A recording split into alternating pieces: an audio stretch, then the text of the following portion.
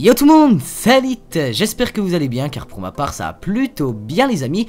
Écoutez, aujourd'hui on se retrouve pour une nouvelle vidéo de glitch sur GTA 5 Online qui va consister à avoir le torse invisible et totalement transparent. Donc je tiens à signaler qu'à l'heure où j'enregistre ça, c'est une exclu FR pour le moment sur cette mise à jour. Vous allez voir que ça donne un effet plutôt stylé et très original à votre personnage.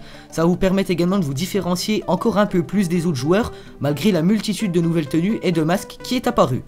Donc pour réaliser le glitch, c'est très simple, rendez-vous dans un des magasins de vêtements Pansombis, rendez-vous à l'accueil au présentoir vers la vendeuse et cliquez sur la flèche de droite pour accéder aux tenues. Une fois que c'est fait, rendez-vous dans la catégorie tenue braquage tactique qui est à la 19e position et une fois dans les tenues, vous achetez le guérilla qui est un petit gilet plutôt sympa, plutôt original.